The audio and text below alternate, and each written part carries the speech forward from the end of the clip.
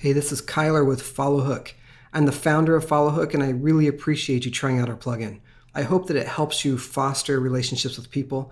You'll find in our university that the lessons are very short and succinct, so let's get with it. This lesson is going to show you how to install FollowHook and then just do a couple brief things in the admin to get your plugin going. Throughout FollowHook training, you're going to see Theater11.com as a sample site we use to set up different features of FollowHook. Theater11.com is actually my wife and I's independent film company. So if you like movies, you should check us out. Uh, just like your website, go ahead and sign into the admin. And to install FollowHook, it's very easy. Just go to Plugins on the left and then click Add New. And over on the top right under Search Plugins, you can type in FollowHook. We have just launched to the WordPress plugin repository, and so we might not even show up yet. So if you run into that, simply go to followhook.com and the Download Now button will take you to the WordPress repository. And then you can just click download there. It's going to download it to your downloads folder. Now go back to your admin, click upload plugin, and then there it is in the downloads folder. Then click install now and activate. And there we are over on the left. If you go to your FollowHook dashboard, you'll see the calendar of to-do items that are coming up.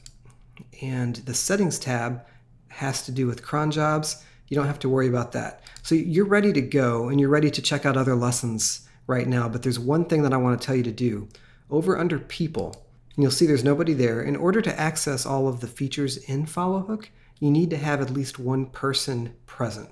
So just add new and go ahead and add yourself or whoever you want, and that way it'll unlock some of the other functionality that you need.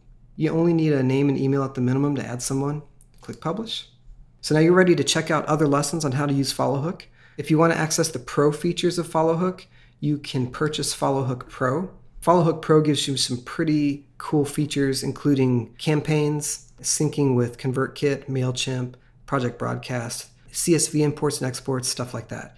So we, we believe in a very low price for all features versus making you pay nickel and diming you for everything. And then along with that, you get support at support.followhook.com. So it's a great way to get your head wrapped around the plugin, get support on how to use things like ConvertKit, or Project Broadcast for text marketing because we include lessons in FollowHook University for our pro members that cover more than just how to use FollowHook. So it's pretty cool, really exciting if you are trying to get your business up and going and starting a list and nurturing your customer base. So that's it. I'll let you go. Again, thank you very much for trying FollowHook out. We're just at the beginning and we plan on doing a lot more. I'll see you in another lesson soon.